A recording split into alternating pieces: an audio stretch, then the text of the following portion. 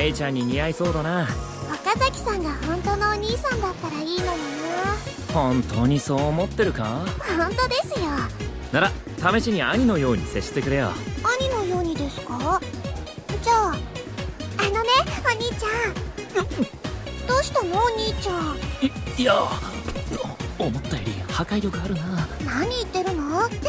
変なお兄ちゃん。ここれはやばいとりあえずお兄ちゃん禁止だ。どうして？お兄ちゃんって呼んじゃダメなの？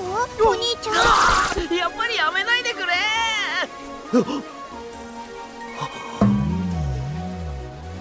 お前たちいつから？メイちゃんにお兄ちゃんって呼ばせてるの。やば。とても興奮していたの。岡崎くん違う。これには訳がませんから。バカが映る。逃げるわよ。違うんだ。待ってくれ。やっぱりお兄ちゃん禁止。え？いややっぱり禁止はなしだ。お兄ちゃん。目どうすればいいの？